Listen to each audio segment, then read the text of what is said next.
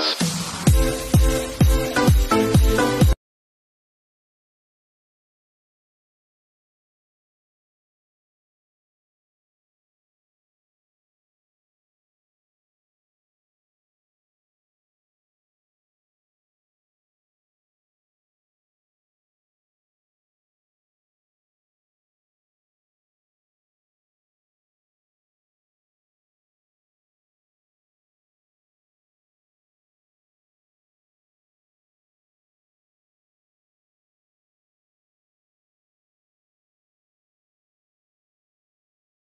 Ah, good morning po. Ah, ngayon po ay araw ng linggo. Ah, maaga po kami pupunta sa school. Ah, mamimitas po kami ng mga gulay. Ah, kasi nga po magtitinda kami doon sa harap ng school. Yon. Ah, may mga dala na po kaming mga talbos, talbos ng ah, palaya, saluyot. Yun po, may dala po kami. At saka po piplas po kami dito ng okra, talong, at saka sitaw. Ah, kung may mapilas din po kayong papaya na may hinog na, piplasan na rin po namin. Ayan po, mag-uumpisa na po ako mamitas kasi nga po eh baka tanghaliin naman ako. Kung mabagal, kailangan po mabilis mamitas para mabilis kaming makapag uh, pwesto sa harap. Ayan po.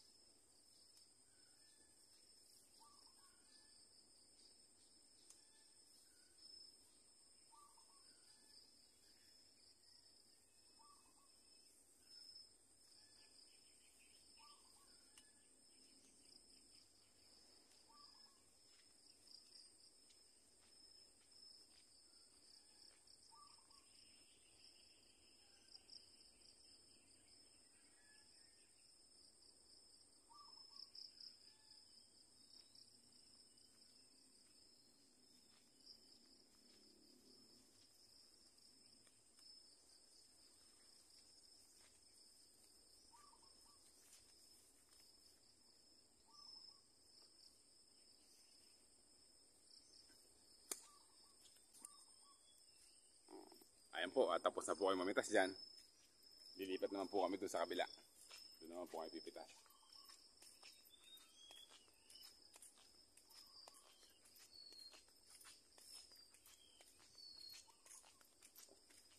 Dalawang klase talong.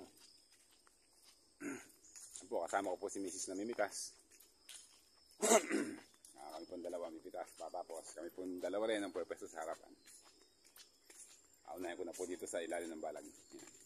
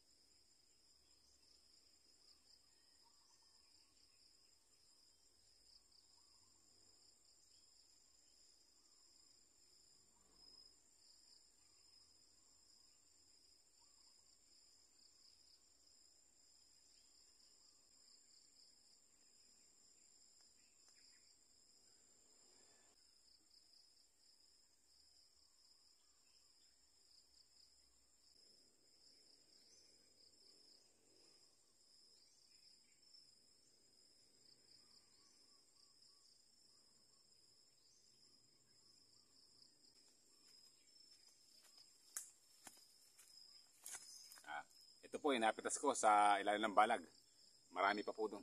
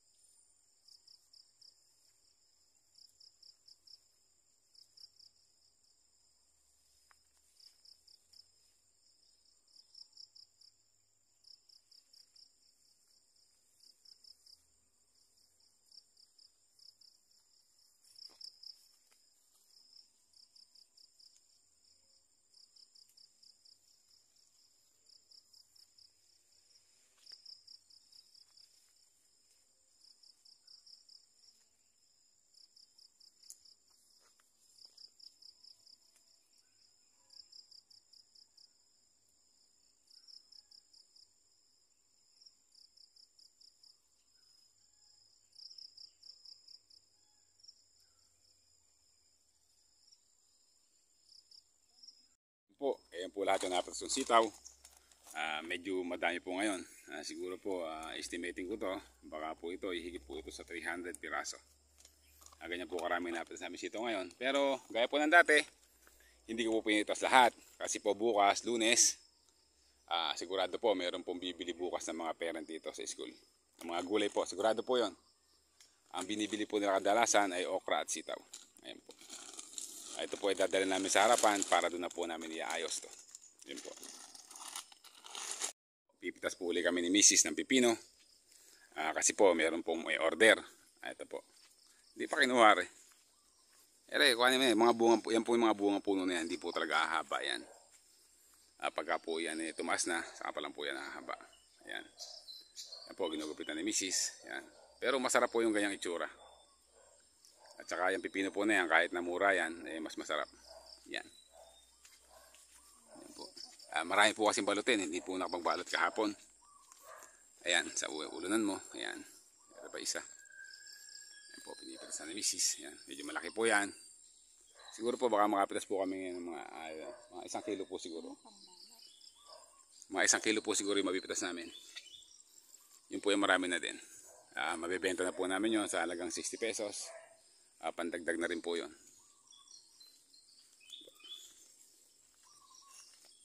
Ayan pa. Ako po yung nagbalot niya kaya hindi maganda. Yan. Maganda po. Pero iba po kung mamitas ng pipino, hindi na po kailangan ng gunting. Basta ini-slide na lang sa kamay. Ah, natatanggal po. Yan, takuhanin mo na yan. Yan. Yan. Yan po yung masarap. Yung napitas po namin nakaraan, eh, yun po yung mga bungang puno, eh, yun po yung mga, ano, medyo malalaki po yun. Yung mga po yung mga unang bunga. Yan pa. Ayan, kuhanin mo na yan. Yan, yan po yung malaki kahapon. Bigla po lumaki. Agawa nga po ng panahon, malamig. Yan po yung gusto ng gulay, yung malalamig na panahon. Para hindi po sila nahihirapan sa init. Ayan po. Meron na. Meron na po may-ari ng dragon fruit. Ito po yung aming paninda ngayong umaga. Meron po kami papayang hinog, may okra, may talong, at saka po si- sitaw. Ayan po yung pipino, saluyot, at talbos ng kamote, at saka po itong talbos ng ampalaya. Ay, may bunga po pala ng ampalaya. Bunga ng ampalaya, at saka po itong ah, patola. Yung ampalaya po na yan, uh, sa, tandanin po yan sa bahay. Ah, ayan po kung tawagin ampalaya, kapa-kapa. Hindi po talaga lumalaki yan. Ganyan po yan. Yan po yung masarap na panlaga at panglagay sa pakbet. Yan po yung masarap na ampalaya. Sarap yan. Oo, sa school yan. Ayan po, meron kami dalawang customer. Bali yung customer namin, apat na. Uh, pinareserve po yung papaya. At saka nagpaserve ng talbos ng ampalaya. Ayan po. Ayan po, may kasama rin pong halaman. Meron din po kami tindang bignay. At saka yung mga halaman na maliliit na pan-display. Ayan po.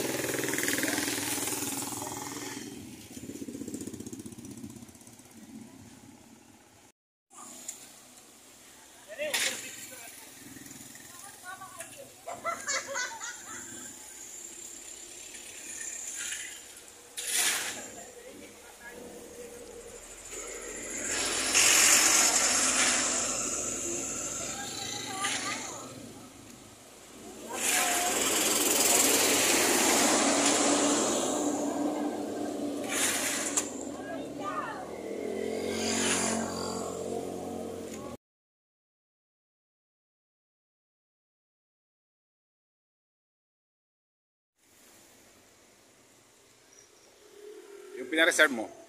20 pala, 15 cents. Yung patola na yun, isang piraso lang, napinitas eh. Kaso, 10 piso, panglagay sa... Baldo!